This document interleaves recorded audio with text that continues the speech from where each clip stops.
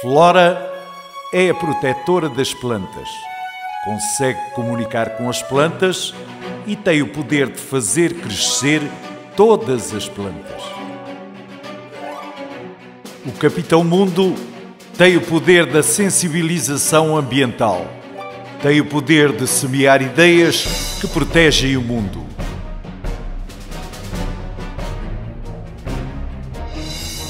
Amaralis é a protetora da fauna. Com a flor encantada, tem o poder de curar todos os seres vivos ao seu redor.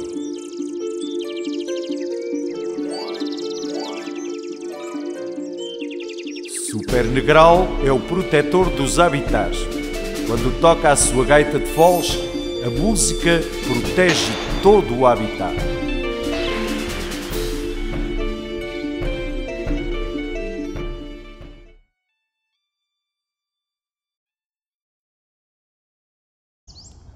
Sabias que nesta área protegida podes encontrar formas tradicionais de recolha e armazenamento de água?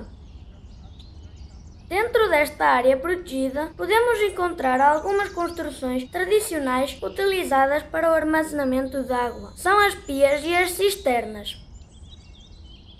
As pias consistem em pequenas cavidades ou reentrâncias em rochas, que servem de coletor das águas da chuva. Nas povoações, a recolha da água é assegurada pelos telhados através de caleiras. A água é conduzida até à cisterna.